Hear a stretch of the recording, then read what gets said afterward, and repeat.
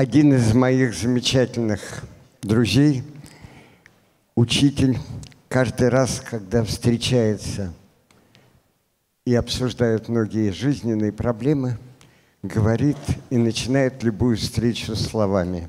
И я начну ее имя сегодня. Здравствуйте, добрые люди. И вот сегодня, когда я слушал то, что происходило, видел, я поражался. И одновременно ёкало сердце. И я вспоминал одного героя. И, простите, я иногда буду задавать вопросы. Согласитесь ли вы отвечать или нет? Скажите, пожалуйста. Поднимите руки, как в классе. Кто согласен? Спасибо, что вы не бросили меня поскольку я психолог, а психологи, в отличие от политиков, спрашивают или исследуют только согласие людей. И поэтому э, первый вопрос. Я вижу столько юных молодых лиц, но вдруг даже среди юных лиц есть те, кто смотрели добрые старые советские фильмы и видел фильм с Гурченко Людмилой, который назывался «Карнавальная ночь». Кто-нибудь видел этот фильм? Я сегодня, когда сейчас видел происходящее, все время думал, елки-палки, извините, неужели я окажусь сейчас после того чуда, которое вы увидели, и который точно Евгений Шварц назвал «обыкновенное чудо», в роли одного профессора на карнавальной ночи. Его пригласили, чтобы он людям, которые улыбаются, веселятся, хотят поцеловать и обнять друг друга, прочел лекцию. Есть ли жизнь на Марсе? И когда оказываешься в такой замечательной роли, то думаешь, Господи, глаза людей, сердца людей, вокруг все происходит, а ты приходишь, встаешь. Слава Богу, я попросил, чтобы трибуны не было, и говоришь, здравствуйте, я пришел вам рассказать, есть ли жизнь на Марсе, а может быть нет. Я не хочу быть такой роли, и поэтому, немножко ломая ту презентацию, которая была, ломаю ее и фрагментами передаю по очень многим причинам. А теперь посмотрите на этот слайд. Вы видите название «Учитель в поисках самого себя» и слова «Жить, а не выживать». Жить, а не выживать. Вы помните старый вопрос – человека, на которого многие хотели замахнуться, особенно в фильме «Берегись автомобиля», Вильяма, так сказать, самого Шекспира. И был вопрос, гамлетовский вопрос, быть или не быть. И сегодня перед нами вопрос жить, а не выживать. И когда этот вопрос стоит как риторический вопрос – я сегодня, находясь здесь, как говорят некоторые мастера, здесь и теперь четко вижу чудо, которое говорит, я приветствую тех людей, которые верят в фестиваль, пришли на фестиваль, потому что фестиваль, что бы ни происходило, наши коллеги говорили, что мы живем ведь на вулкане, вы хорошо это понимаете – но фестиваль на вулкане – это уникальный праздник. И когда фестиваль происходит на вулкане, это доказывает, что мы с вами живем, а не выживаем. И чтобы жить, а не выживать, надо ясно видеть эту жизнь. Надо некоторые моменты чувствовать и пропускать сквозь себя. И для меня было невероятно важно, что сейчас были такие кадры, от которых их не придумаешь, не изобретешь. Что такое сгорание, нам говорили наши дети. Что такое происходит с родителями, нам говорили наши родители. Ведь прошлый год был самым редким годом в образовании мира. В прошлом году, 1 сентября, в школы пришли не только дети, но и все родители. Такого года не было никогда, чтобы школа 1 сентября еще не понимали. И родители вдруг почувствовали, и учителя. А каково это быть учителями? А кого, каково это быть в школе? Но учителя почувствовали. И так здорово, что здесь родители, а каково это быть родителями. И начался, вместо замечательной вещи, семья и школа, начался совершенно другой же мир.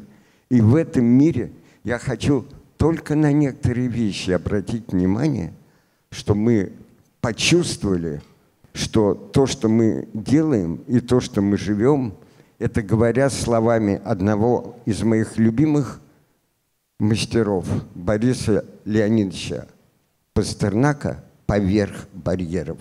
Учителя России, родители России, ученики России сегодня живут поверх барьеров и преодолевают те сложности вулкана, которые есть в мире – и все равно они открывают перспективы. Поэтому, чтобы понять, что мы сегодня с вами не просто учителя знаний, а учителя жизни, увидим те драмы и те риски, через которые вы переходите и преодолеваете.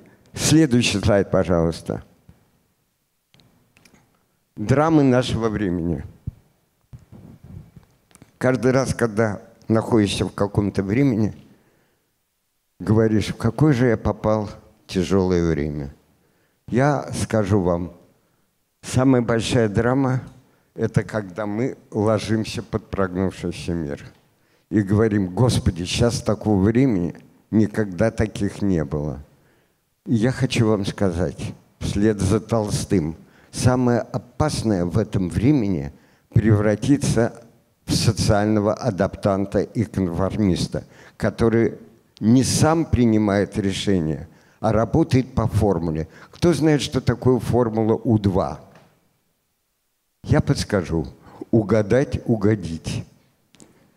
Как только мы начинаем жить по формуле УГ-2, мы сами переговариваем к себя, к тому, что проигрываем в этой жизни, а еще приходят добрые люди, по-разному добрые, говорят, учителя, вам трудно, но вы держитесь.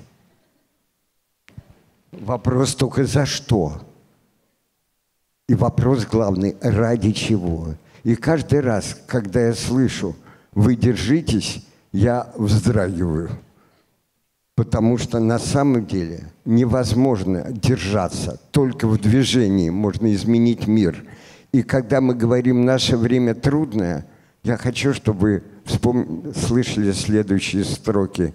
«Ни к чему, ни к чему, ни к чему.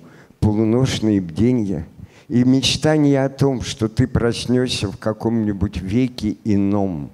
Время это дано, время не подлежит обсуждению, подлежишь обсуждению ты, разместившийся в нем» и не верь, что грядущее вскрикнет, всплеснувший руками, жил когда-то такой, да бедняга от века зачах. Нету легких времен, и в людскую врезаются память только тот, кто пронес эту тяжесть на смертных плечах. Сегодня мы на фестивале. Фестиваль праздник, фестиваль веселья. И сквозь веселье мы доказываем, что мы перешагиваем эту драму и следующую драму, пожалуйста. Драма потеря понимания. Каждый раз мы сталкиваемся с тем, что мы общаемся и не понимаем. Человек, которого я нежно люблю – Лев Семенович Выгодский говорил, что понимание мысли человека без знания мотива человека есть неполное понимание. Мы все время в трагедии драмы непонимания. И, а, пожалуйста, поднимите руки, кто слышал вопрос. Я вас не понимаю. А кто страдал от непонимания? Такие есть? Можете не понимать. Спасибо, что подняли руки, но я не хотел бы, чтобы мы, такие красивые учителя, при всей красоте занялись психологическим стриптизом. И смотрите, эволюция. Есть выживать, размножаться. Есть выживать. А и, наконец, появляемся мы, люди – и ключевой наш вопрос – зачем я здесь? Вопрос о понимании. Следующий слайд, пожалуйста. И в этой ситуации драма нашего времени, который, когда говорят, школа во всем виновата, детские сады во всем виноваты, а что происходит в мире? Каждый раз у меня разрывается душа, когда за все тяжелое, что происходит на планете, кого винят – учителей. Кого винят? Школу. И знаете, когда школа работает козлом отпущения за все грехи общества, это невероятно. Поэтому наш с вами труд самый трудный. А сейчас идет тяжелейшая вещь, и вы это преодолеваете, вы действуете. Как можно было подумать, что кто-то когда-то на вечном огне шашлык жарить будет. То есть вот уникальная ситуация, когда мы должны донести смыслы. Дальше, пожалуйста. И межпоколенческий разрыв. Вы сегодня его видели, не буду вам говорить. Сейчас, благодаря тому, что сделали мои коллеги здесь, на этом фестивале были такие кадры, все слова, вся вербалика – это не передает этого межпоколенческого разрыва. Дальше, пожалуйста, я ускоряюсь. И главная драма коммуникации между тех, кого называют цифровые аборигены и цифровые мигранты. Вот этот маленький пример. Замечательная, ласковая бабушка. Знаешь, романтично и тихо, из чего состоят облака. И ребенок – конечно, музыка, фотки, файлы. Вот еще раз, вот эта драма непонимания, она, ее надо учитывать, она выходит на первый план. Я, например, отношу себя к цифровым мигрантам, а не цифровым аборигенам. Цифровым мигрантам и каждый раз, когда я выхожу, а я выхожу в этом году, в сентябре будет 50 лет перед студентами Московского университета – полвека. Я каждый раз, у меня пот. Они, я человек, я представляю, и вам говорю, по отношению к ним я человек юрского периода. И главное это понять, и главное начать самим учиться. Дальше, пожалуйста. И это в той ситуации, когда все время потеря доверия. Дальше, пожалуйста. И это самая, одна из самых страшных драм времени – равнодушие. Скажите, кто слышал фразу в тех или иных выражениях, что я тебя в упор не вижу? Был один мастер по диагностике, как уничтожить одаренных детей. Его звали Михаил Афанасьевич Булгаков. Он словами Воланда сказал, а вы не замечаете одаренных людей, и они вымрут сами. И то же самое к учителям. Они вы не замечаете. Я не продолжаю. Дальше, пожалуйста. И в этой ситуации ключевой риск потери «я». Дальше, пожалуйста. И в этой ситуации смотрите на этот мост – главный маркер эпохи – это потеря смысла жизни. В позапрошлом году было проведено исследование великих страхов человечества. Всегда на первый план, на пьедестале, какой, как вы думаете, был страх все годы? 10 лет назад, 20, 40, как вы думаете, какой страх? не буду мучить. Страх смерти всегда был одним из самых страшных страхов на Земле. Это правильно. Но буквально позапрошлом году на первое место вышел страх потери смысла жизни. Ради чего я существую? Зачем я живу? Когда я говорю эти слова серьезно, я вспоминаю маленький диалог пациента с врачом. Пациент спрашивает, доктор, жить буду? А врач отвечает, а смысл? Этот вопрос ключевой. Дальше, пожалуйста. И в этой ситуации, не буду говорить, за синдромом выгорания стоит потеря смысла. Дальше, пожалуйста. И это мы сегодня здесь делаем удивительные вещи вопреки абсурдам времени. Смотрите, сколько было посетителей, когда был экономический форум в Петербурге. 13,6 миллионов новостей. Это просто взрыв. А теперь следующий сайт. Одно из самых событий в Москве, ММСО. Только ну, фор, это, выставка. Что такое? Почему мы должны с вами вместе обществу сказать, учитель главное, без этого не увидите и образование, что в мире. Дальше, пожалуйста. И в этой ситуации у меня вопрос, кого мы больше любим, искусственный интеллект или естественный? Когда я смотрю, даже в год науки, приоритетные проекты – есть вещи, которые надо понимать и которые не понимают в упор. По сути дела, образование – это процесс развития личности и естественного интеллекта. Но сколько мы говорим об, ис... об искусственном, поэтому я приветствую всех в этом зале как проектировщиков естественного интеллекта. Это самое трудное, самое важное. Надо понять, учитель – это тот, кто помогает человеку. Кто помнит детский мультфильм «Баранкин»? Будь человеком. Вот это главное. И Айзек Азимов смотрел бы на нас и изумлялся – он говорил, ведь в правилах роботехники нельзя трогать человека. Но почему в правилах приоритетов можно трогать учителя? Поэтому кто важнее, воспитатель искусственного интеллекта или естественно? Дальше, пожалуйста, кто... И отсюда. Почему мы говорим сегодня, можно ли жить так, как жили вчера – можно ли идти вперед с головой повернутой назад? Я задаю эти вопросы как риторические вопросы. Когда я своему внуку подарил весь гордый сказку о царе Салтане с великолепными иллюстрациями, я такое получил. Он взял в руки книжку и сделал вот так. Ну, картинки.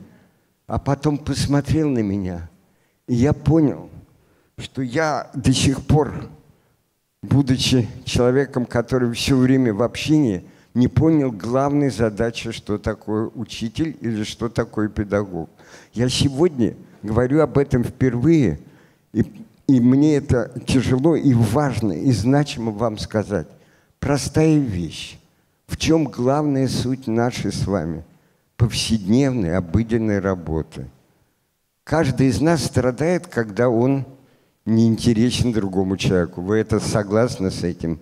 Когда мы не интересны другим, это тяжело. И каждый пытается или хочет, чтобы он был интересен, тогда он существует. Но в чем отличие всех людей на Земле от педагогов?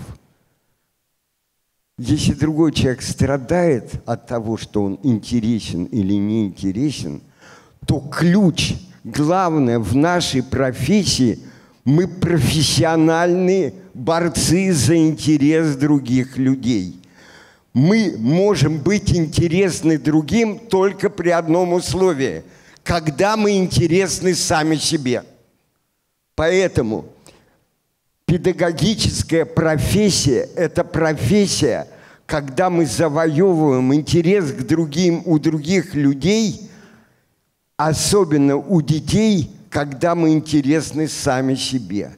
Вот если этого нет, тогда и происходит экзистенциальный вакуум. Меня недавно позвонили и спросили, можете прочесть лекцию? Я спросил, кому? Ну, люди иногда разные спрашивают, поэтому я спокойно отнесся, почти не нервно. И мне говорят, знаете, мы хотим, чтобы вы в нашем детском саду прочли первой группе детского сада. Слушайте, так трудно. Когда в культуре трудно, я всегда говорю, дошкольники вперед.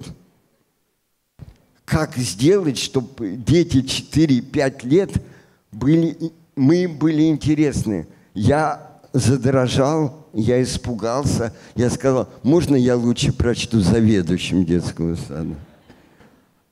И поэтому нельзя использовать старые карты, чтобы исследовать новый мир.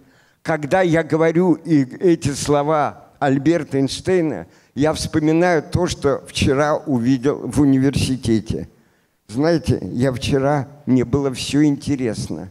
Я просто, у меня начался какой-то эйфория интереса. Я был в университете. И что потрясало? Я видел горящие глаза людей и вижу ваши горящие глаза. И когда оказался и в университете, а потом, да простят меня организаторы нашего события, совсем поразительное, когда мы ночью пошли смотреть школу. Ночь – самое замечательное место, чтобы видеть школу. Видишь ее всю – и никто не мешает ее смотреть.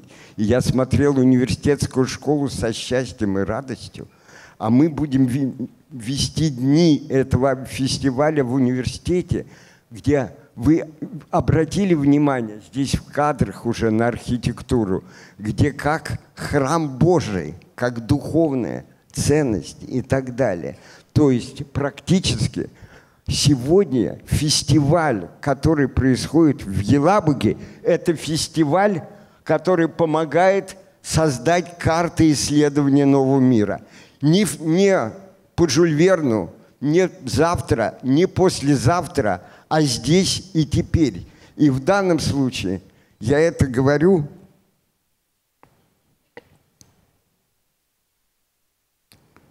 Дорогой мой ректор, если можно, на секунду покажите лицо народов, встаньте.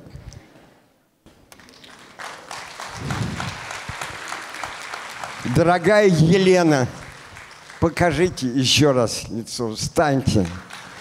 Дорогие коллеги, это же живое перед нами настоящее чудо.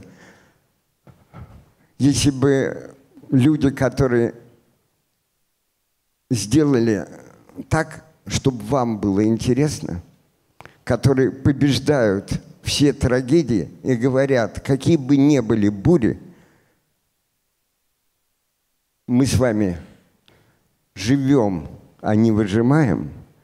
И я хочу сказать, что вот эта сращенность университета и школы – это уникальная вещь. Я не знаю в России – других моментов, где э, школы были в структуре университета. Услышьте меня, не базовые школы, вы меня хорошо понимаете, у нас их немало. Когда-то в 93 году я придумал, будучи в виде образования России, формулу «школа-лаборатория». Мы все время находимся в школах, которые держат карты нового мира. И что я увидел – Самое важное, то, что мы происходит здесь, чтобы строить новый мир, это следующее. Я всегда рассказываю, что однажды заблудился в Париже и ночью спросил у доброго французского человека, а как пройти в центр? 11 или 12 ночи. Добрый парижанин смотрит на меня и не понимает. Говорю по-английски – выковиркиваю на совершенно непонятном французском. И тут он мне говорит, а в Париже нет центра. Вдумайтесь в эти слова. Я увидел вчера в университете аудитории, в которых нет центра. Это совершенно другие пространства жизни, аудитории, где нет центра. Ты входишь и Помните фильм «Большая перемена», когда заходит герой, ему говорят, пришел, садись за парту. У нас все четко. Здесь тот, кто авторитет, а тут все внемлют, а пространства другие. И это очень важно. И когда сегодня говорили, что Елабуга, другие города, Елена, вы сегодня в кадрах говорили следующие слова. Смотрите, даже в дальних городах сегодня, благодаря мировой паутине, изменились понятия центра и периферия. Больше нет мира, где только один центр. Понятие провинция исчезает. Я хочу, чтобы вы это четко отрефлексировали. Поэтому не надо искать Гарварда или МГУ только в столицах. Они рождаются в других местах. Мир меняется, меняется время, новые карты. Скажите, пожалуйста, кто бы сегодня назвал книгу «Путешествие из Петербурга в Москву»? Садись на Сапсан и за... И вы почти мгновенно там. Поэтому мы в другом мире. Дальше, пожалуйста. И здесь главный вопрос, который на нашем фестивале центральный, здесь показывается во всех площадках смысл. Кто знает зачем, найдет любое как. Нам не нужны цифровизации и так далее, которые бессмысленны. Даешь цифровизацию. Когда-то говорили, экономика должна быть экономной. Когда-то говорили, даешь электрификацию. Электрификация, цифровизация нужны только под смысл. А учителя – это конструкторы смыслов. Дальше, пожалуйста. И в этой ситуации самое опасное, если мы с вами будем двигаться и жить по формуле «я знаю, как надо», замечательный Барт Александр Галич сказал, не бойся тюрьмы, не бойся сумы, не бойся мора и сглада, а больше всего бойся того, кто скажет, я знаю, как надо. И если бы я не буду, здесь очень чистый стул, каждый раз в образовании я очень боюсь, что кто-нибудь влезет на стул или выше – станет перед вами и скажет, правильной дорогой идете, товарищи. Сегодня, когда выступал ректор, он сказал, мы живем в мире неопределенности. Да, мы живем в мире неопределенности, сложности и разнообразия. И если хоть кто-то скажет только этот путь, посмотрите на него, психотерапевтически. Дальше, пожалуйста. И самое опасное – попасть в эффект колеи, в эффект ловушки, когда мы все время говорим, ищите тренды, ищите тренды, ищите тренды в образовании, в науке, в культуре. Когда я слышу всюду, ищите тренды, мне так и хочется сказать, не тренди – Поэтому еще три вопроса маленьких, чтобы вы почувствовали, как возникают стереотипы. Я их часто задаю, но сегодня задам еще раз. Согласитесь ответить. Те из вас, кто чуть постарше и ближе к моему возрасту, помнят ли, как назывался в школе листок, в который ставились оценки? Кто помнит, как он назывался? Табель. Отлично. Скажите, пожалуйста, как называется вот такой шнур, по которому передают информацию, электричество? Кабель. Так, скажите, пожалуйста, а кто убил Каина? А теперь подумайте секунду. Не чувствуете? Атеистичные вы мои. Вот. На самом деле все было наоборот – И когда пришел Бог Каина, он спросил, а где брат вы? А тот ответил, разве я сторож? Ну, вы все сказали, многие, зная эту библейскую притчу, сказали неправильно. Почему? У вас возник стереотип. Мы все время рождаемся и переходим через эти стереотипы, через эти ловушки. Дальше, пожалуйста. И задача образования во все времена следующая. Либо мы живем в мире различий, стирая и не видя в гомогенной реальности, либо в достойной жизни, когда есть разнообразие. Самое опасное, если мы в школе своими действиями кого-то стирают. Посмотрите на меня, пожалуйста, сейчас. Раз, два, три, четыре. Смотрю на родителей. Пять. Скажите, пожалуйста, кто-нибудь поделится тем, что хоть на секунду испытал, когда я его сейчас считал? Никто не поделится. Весело было? Вижу, по невербалике не было весело. Вспомните мультфильм, который назывался «Он и нас сосчитал». А теперь подумайте – как часто нас с вами считают.